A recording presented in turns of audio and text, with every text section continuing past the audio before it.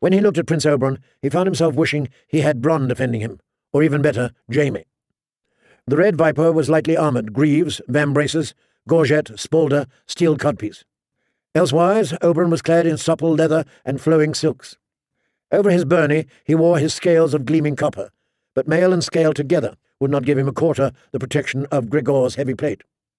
With its visor removed, the prince's helm was effectively no better than a half-helm, lacking even a nasal. His round steel shield was brightly polished, and showed the sun and spear in red gold, yellow gold, white gold, and copper. Dance around him until he's so tired he can hardly lift his arm, then put him on his back. The Red Viper seemed to have the same notion as Bronn, but the sellsword had been blunt about the risks of such tactics. I hope to Seven Hells that you know what you're doing, sneak. A platform had been erected beside the Tower of the Hand, halfway between the two champions. That was where Lord Tywin sat with his brother Sir Kevan. King Tommen was not in evidence. For that, at least, Tyrion was grateful. Lord Tywin glanced briefly at his dwarf son, then lifted his hand. A dozen trumpeters blew a fanfare to quiet the crowd. The High Septon shuffled forward in his tall crystal crown, and prayed that the Father above would help them in this judgment, and that the warrior would lend his strength to the arm of the man whose cause was just. That would be me, Tyrion almost shouted, but they would only laugh, and he was sick unto death of laughter. Sir Osmond Kettleblack brought Clegane his shield, a massive thing of heavy oak, rimmed in black iron. As the mountain slid his left arm through the straps, Tyrion saw that the hounds of Clegane had been painted over. This morning Sir Gregor bore the seven-pointed star the Andals had brought to Westeros when they crossed the narrow sea to overwhelm the first men and their gods. Very pious of you, Cersei, but I doubt the gods will be impressed. There were fifty yards between them. Prince Oberyn advanced quickly.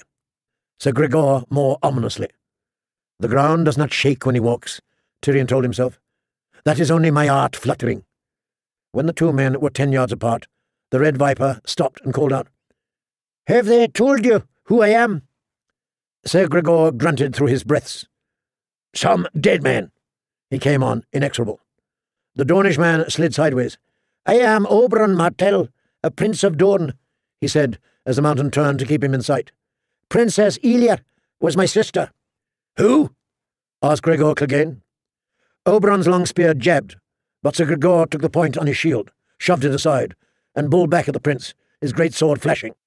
The Dornishman spun away untouched. The spear darted forward. Clegane slashed at it. Martell snapped it back, then thrust again. Metal screamed on metal as the spearhead slid off the mountain's chest, slicing through the surcoat and leaving a long bright scratch on the steel beneath. Elia Martell, Princess of Dorne, the Red Viper hissed. You raped her. You murdered her. You killed her children. Sir Gregor grunted. He made a ponderous charge to hack at the Dornishman's head. Prince Oberyn avoided him easily. You raped her.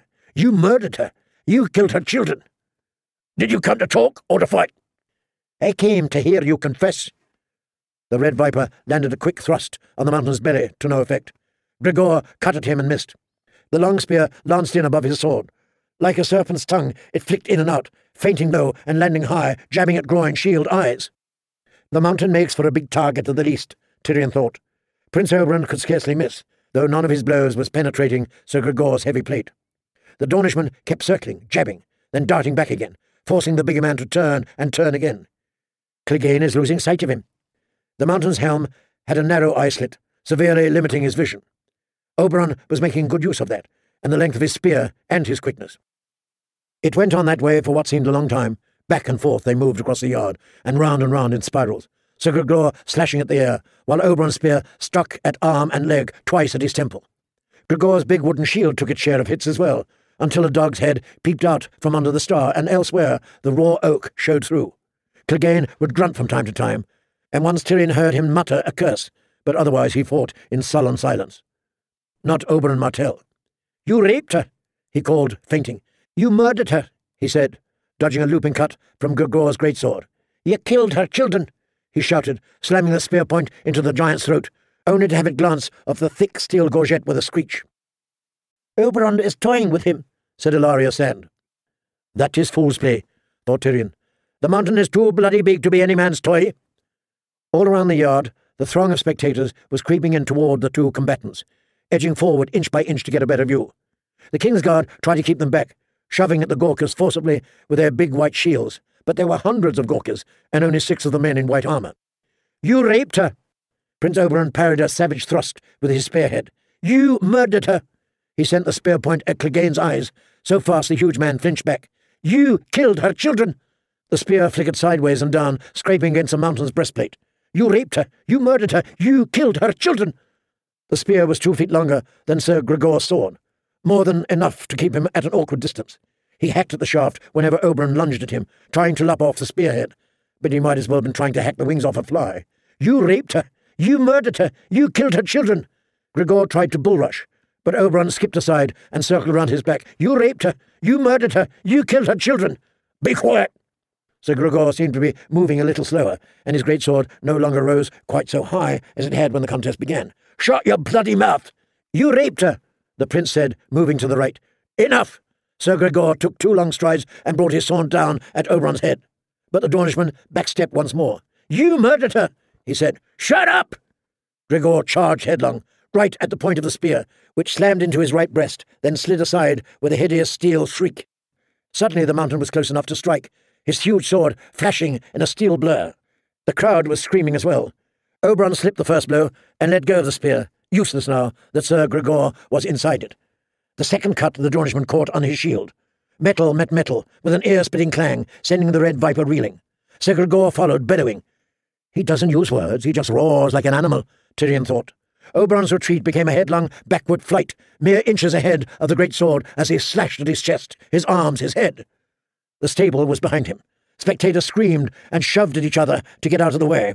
One stumbled into Oberyn's back. Sir Gregor hacked down with all his savage strength. The Red Viper threw himself sideways, rolling. The luckless stable boy behind him was not so quick. As his arm rose to protect his face, Gregor's sword took it off between elbow and shoulder. Shut up! The mountain howled at the stable boy's scream, and this time he swung the blade sideways, sending the top half of the lad's head across the yard in a spray of blood and brains. Hundreds of spectators suddenly seemed to lose all interest in the guilt or innocence of Tyrion Lannister, judging by the way they pushed and shoved at each other to escape the yard. But the Red Viper of Dorne was back on his feet, his long spear in hand. Elia! he called at Sir Gregor. You raped her! You murdered her! You killed her children! Now say her name! The mountain whirled. Helm, shield, sword, surcoat, he was spattered with gore from head to heels. You talk too much, he grumbled. You make my head hurt. I will hear you say it. She was Elia of Dorne. The mountain snorted contemptuously and came on, and in that moment the sun broke through the low clouds that had hidden the sky since dawn. The sun of Dorne, Tyrion told himself, but it was Gregor Clegane who moved first to put the sun at his back. This is a dim and brutal man, but he has a warrior's instincts. The red viper crouched, squinting, and sent his spear darting forward again. Sir Gregor hacked at it, but the thrust had only been a feint.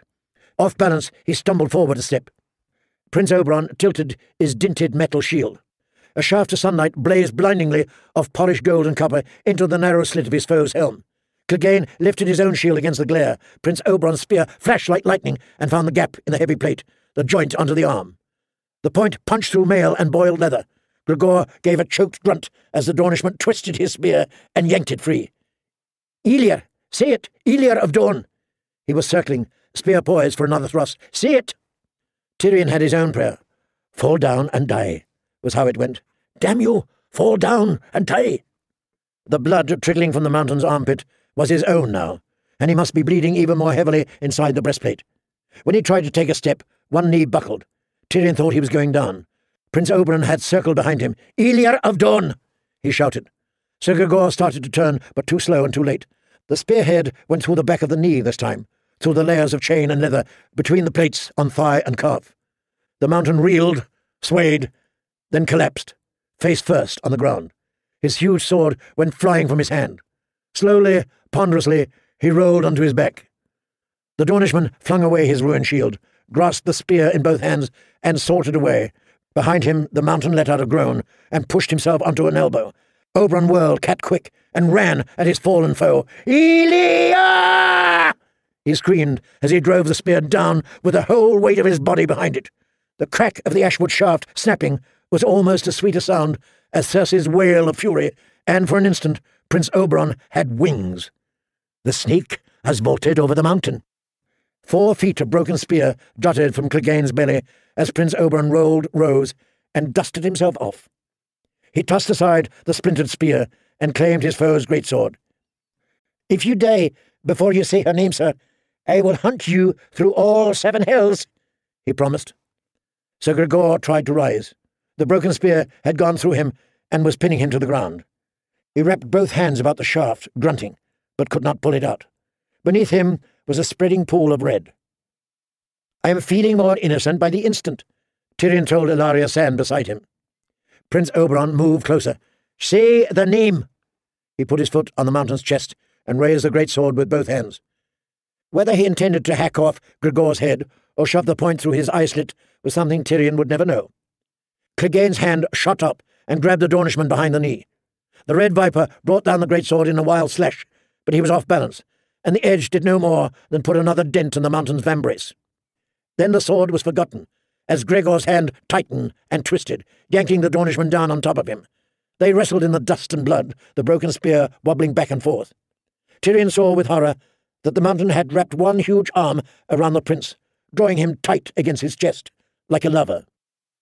Elia of Dorne, they all heard Sir Gregor say when they were close enough to kiss, his deep voice booming within the helm. I killed her screaming whelp. He thrust his free hand into Oberyn's unprotected face, pushing steel fingers into his eyes. Then I raped her. Clegane slammed his fist into the Dornishman's mouth, making splinters of his teeth. Then I smashed her fucking head in like this.